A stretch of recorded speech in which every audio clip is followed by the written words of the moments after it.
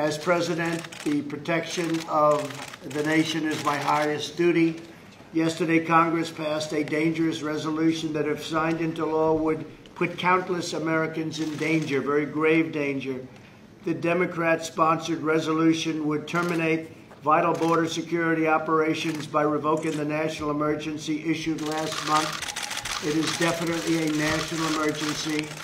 Rarely have we had such a national emergency. Therefore, to defend the safety and security of all Americans, I will be signing and issuing a formal veto of this reckless resolution, and that's what it was.